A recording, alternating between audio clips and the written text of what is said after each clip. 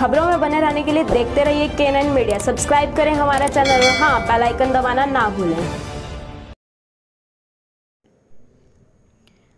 भूपेंद्र सिंह हुड्डा ने कहा, ढाई महीने से अधिक इस सरकार को बने हो गया है, परंतु अभी तक इस सरकार का कॉमन मिनिमम प्रोग्राम नहीं आया है। जो भी घोषणा पत्र वादे किए थे, अभी तक एक भी पूरा नहीं किया है।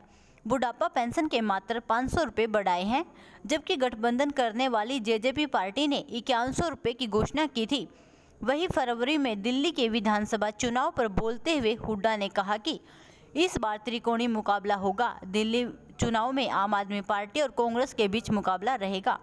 वहीं भूपेंद्र सिंह हुड्डा ने भारी बारिश व ओलावृष्टि से किसानों की फ़सलों का जो नुकसान हुआ है, उसकी विशेष गिरदावरी की मांग की। हुड्डा ने कहा कि किसानों के ऊपर दोहरी मार पड़ी है।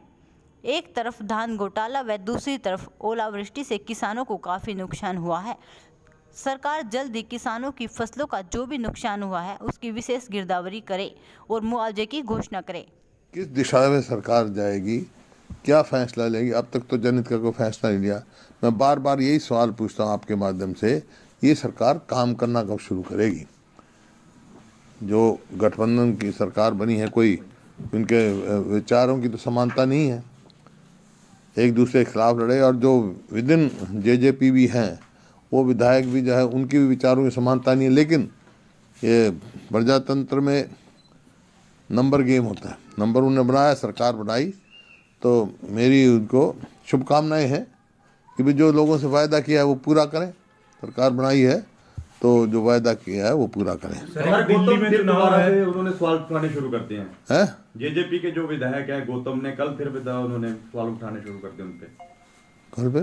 राम कुमार गौतम ने एक बार तो और भी और भी बहुत सारे विधायक उठा रहे हैं लेकिन मैं ये कह रहा हूँ भाई ये सरकार से काम करना कब शुरू करेंगे? बलराज कुंडू जो राम कुमार गौतम है आपके टच में है किसी भी तरीके से? मेरे तो सारे टच में है क्या ये कोई वो तो- कोई हम तो या कोई दुश्मनी थोड़ा है किसी से? ये है डेमोक्रेसी डेमोक्रेसी है उनके साथ? नहीं ऐसी कोई चर्चा नहीं अभी। ये सरकार जो बनी है जिसके हमसे कार्य करी है किसी को कुछ करने की ज़रूरत नहीं है अपने वज़न में अपने आप गिर जाएगी कभी ना कभी। दिल्ली चुनाव को लेके कैसे देखते हैं सर आप लोग? दिल्ली में चुनाव तिकोनिया होगा लेकिन मुख्य मुकाबला कांग्रेस और आप पार्टी में रहेगा। सर, जेजेपी ज़ीरो और बीजेपी गठबंधन करने जा रही है। सीटें थी पिछली बार दिल्ली के अंदर। ज़ीरो सीट आई थी कांग्रेस की। इस बार खाता खुलेगा उम्मीद है? मैं कह रहा हूँ मुकाबला ही आप पार्टी में और कांग्रेस में है। जेजेपी कैप्टन अभिमन्यु द्वारा जो है उनके परिवार द्वारा माफ़ी दी गई है। One by one one by one sir JJP और बीजेपी दिल्ली में सुना है गठबंधन करने जा रही है। हाँ। तो क्या वो सरकार बना पाएँगे? देखे अभी तेल तेल तेल देखो तेल की धार देखें। कैप्टन अभिमन्यु और उनके परिवार द्वारा जो माफ़ी दी गई है जो जाट आरक्षण हिंसक आंदोलन हुआ उन पर क्या कहना चाहिए किसने माफ़ी दी? है जो पंचायत हुई थी पंचायत- हाँ पंचायतों की पंचायत हुई जींद में। पंचायत ने समझौता कराया अच्छी बात है। ओपी धनखड़ कहते हैं कि अगर ये समझौता चुनावों के दौरान हो जाता तो कैप्टन अभिमन्यु और ओम प्रकाश धनखड़ दोनों विधानसभा नहीं अगर समझौता पहले हो जाता तो ऐसा है, ये असलियत जो अब कुंडू ने कही है, वो पहले बाहर आ जाती कि जो जान माल का नुकसान है, उसके लिए असली जिम्मेवार कौन है?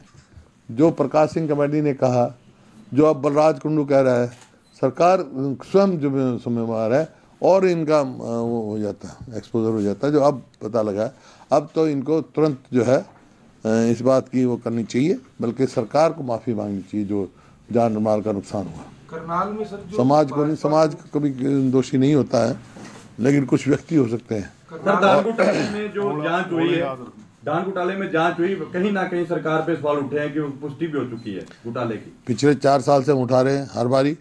पिछले तीन चार साल से धान में खरीद में घोटाला हो रहा है और हम सवाल उठा रहे हैं। और ये सरकार आने के बाद तो इतना अ, कोई सौ पचास करोड़ का घोटाला नहीं है ये हज़ारों करोड़ का घोटाला है। और इसकी तुरंत सीबीआई के द्वारा जाँच होनी चाहिए।